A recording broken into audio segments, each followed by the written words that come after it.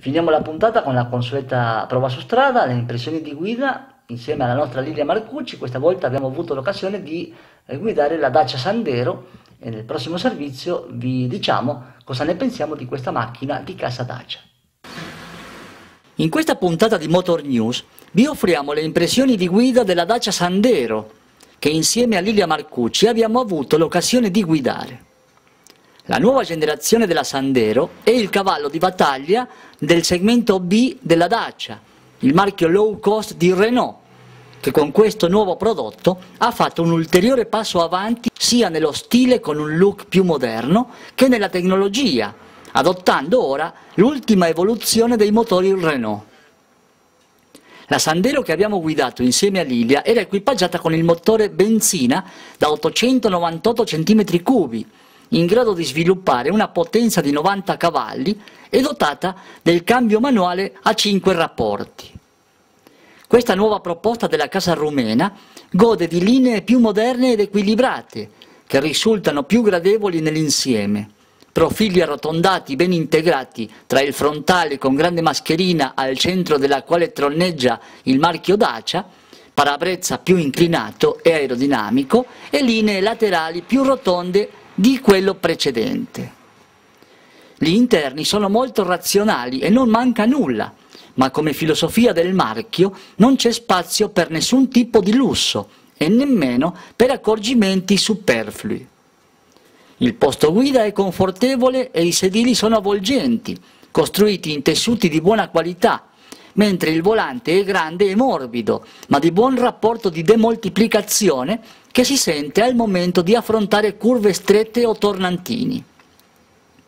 La plancia è costituita da due bocchette d'aria nei laterali più altre due ai lati del climatizzatore, con il display touchscreen da 7 pollici posto al centro e dal quale si accede al navigatore satellitare, radio e computer di bordo.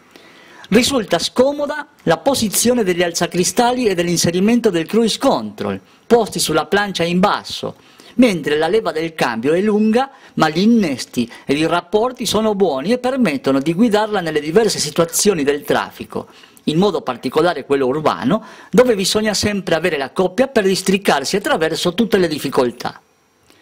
Sicuramente il punto di forza è il nuovo motore Renault, molto parco nel consumo, e che ci ha dato valori di consumo di 6,80 litri per 100 km nel ciclo urbano, 4,30 litri in quello extraurbano e 5,20 litri per 100 km nel ciclo combinato.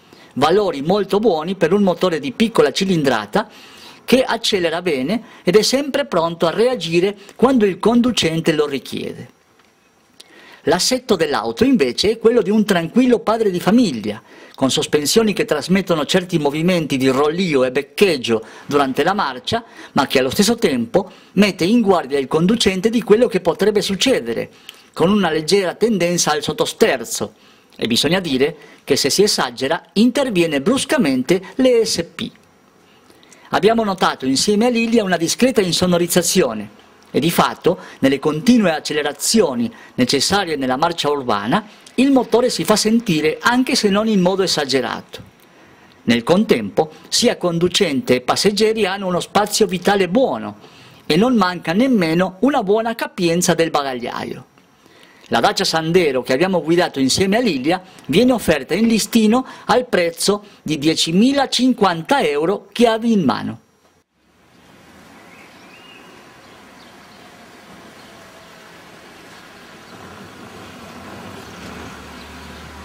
In questo modo finiamo la puntata numero 15 dell'anno 2013 di Motor News, non ci resta che augurarvi una buona settimana a tutti e darvi appuntamento la settimana prossima sempre in questa rete a questo orario. Grazie, arrivederci e buona settimana a tutti.